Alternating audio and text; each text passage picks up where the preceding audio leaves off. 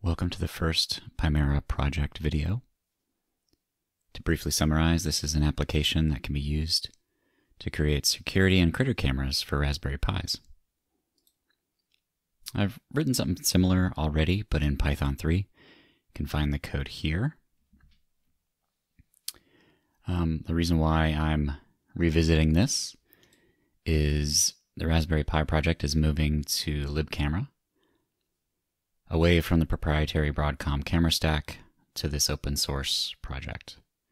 They've already done a ton of work and they replaced the old raspivid and raspistill uh, capture apps with libcamera still and libcamera vid, I believe.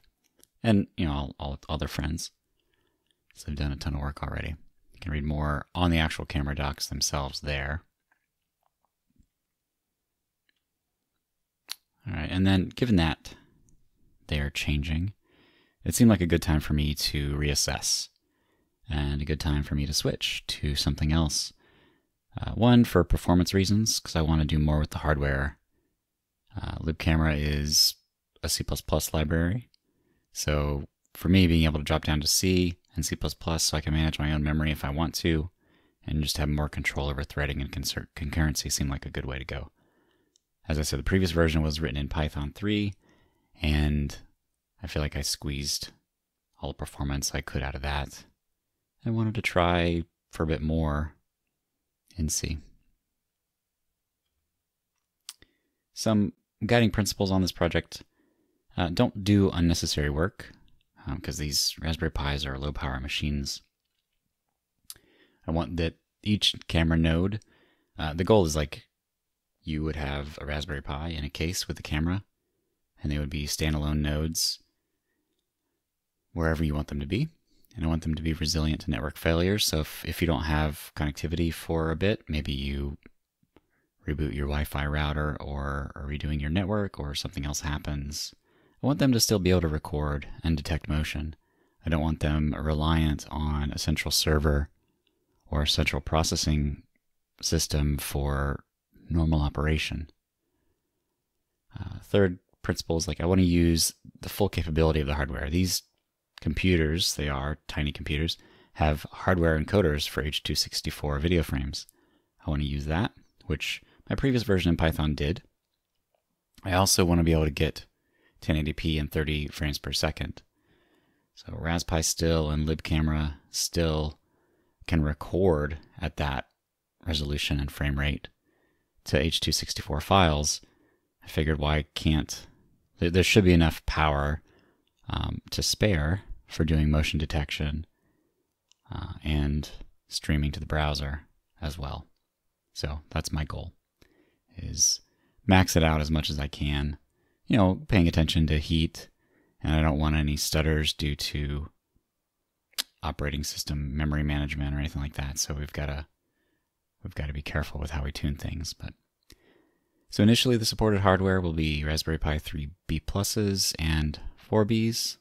I have one of each of those. I guess there are other models in the 3 line, but I have not tested those, nor do I own them. And starting with, we just want to use the official Raspberry Pi camera modules because I know exactly what the resolutions are and the capabilities. I can easily test those. I think I have three of them, those modules right now. Soon I want to get back to support for Raspberry Pi Zeros. I do have a Zero W um, that ran a previous version of the Python app, or basically the Python version of this application. And It worked okay, but that's a single core machine, so we really, I really need to rethink the way I'm doing threading for that type of a device.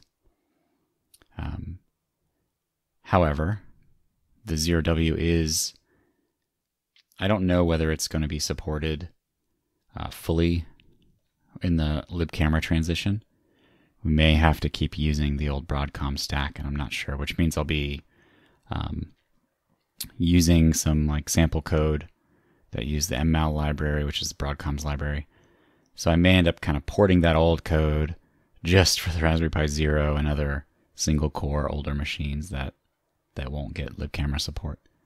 But that's to be decided. So that's why I said soonish here, because I'm not exactly sure about my plans around those devices. The 02W is based on the 3 um, processor. I think most of that architecture, they ported it to 02W. So 02Ws would be basically the same as a 3B Plus, which will be great.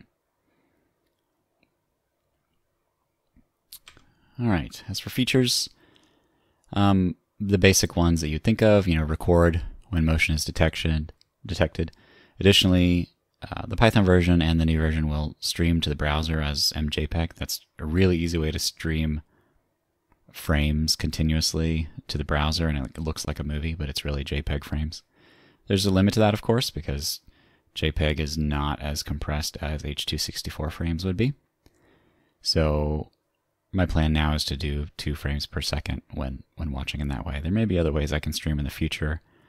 I believe that WebRTC supports H.264, but that means I'll be creating a WebRTC server on these in this app that will run on the Raspberry Pis, and that just that seems a bit heavy, but we'll see.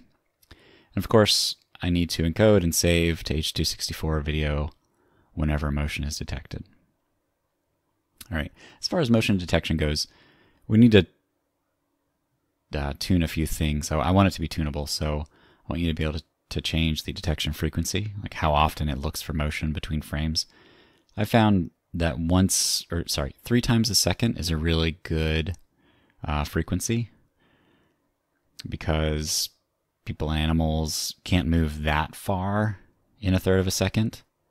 Vehicles, sure, they may they may flip way across the frame within that time frame, but but people and, and animals, uh, you can pick them up and then you can start recording what they're doing. So I want you also to be able to tune the the threshold at which motion is actually detected, like which percentage of pixels have to change before we flip the flag and say, hey, something moved here.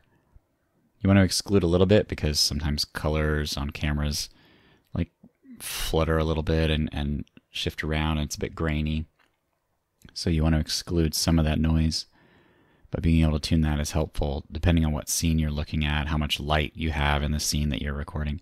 You may need to make it a bit more forgiving and not record motion all the time if it's just um, you know scene just noise.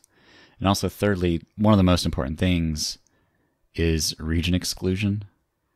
Um, I'll show you an example of that in a bit of why you would need that. And let me see what my next slide is. Okay, so this is the architecture. I'm going to take a break here and I'll show you why you might need region exclusion. So this, my terribly thrown together UI to, to browse videos that I've recorded with my Raspberry Pis. So this one's looking out my back porch. And as you can see in this video, the air balloon is moving and the cat is moving. I'm pretty sure it detected the cat um, because I believe I have a region exclusion right about here.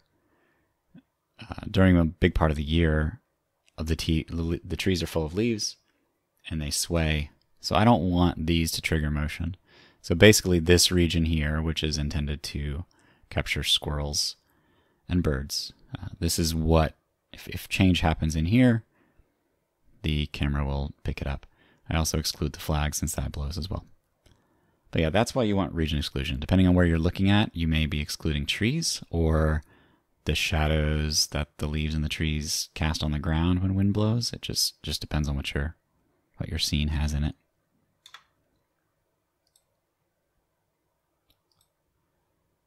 All right.